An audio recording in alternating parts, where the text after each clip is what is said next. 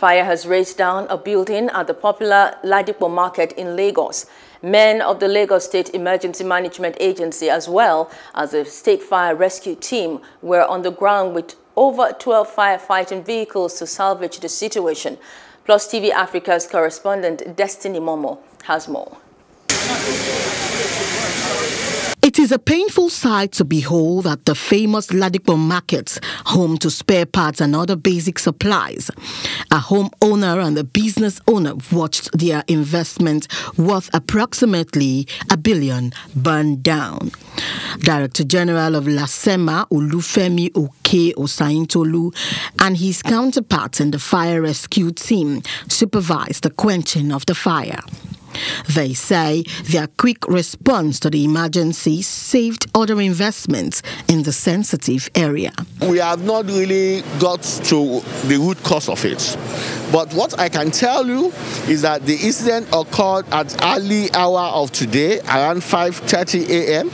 We activated our emergency response plan, and when we got there, all the primary responders were on the ground. We were able to curtail the fire to where it's happened. At least by not allowing it to, you know, spread to the bank, the adjoining buildings. Uh, we have been able to curtail it to, where the, to its origin source. Uh, for now, uh, work is still on as we have different petrochemical products, like I said, in there, and they still, you know, we just give us some time.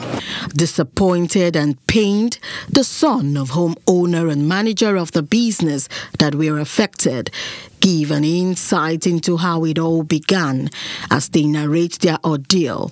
It happened around 3 a.m. When the NEPA brought the light, we could just hear some scent of um, fire. So then we rushed down. My dad called me. Then I rushed to the backyard, thinking that it was just in the backyard that the light is happening.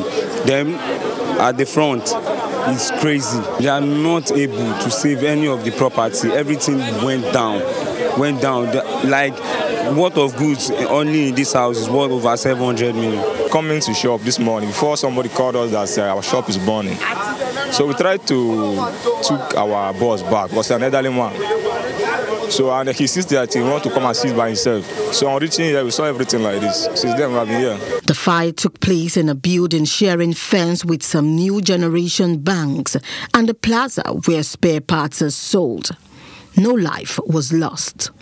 Destiny Momoh for Plus TV Africa. Hello. Hope you enjoyed the news. Please do subscribe to our YouTube channel and don't forget to hit the notification button so you get notified about fresh news updates.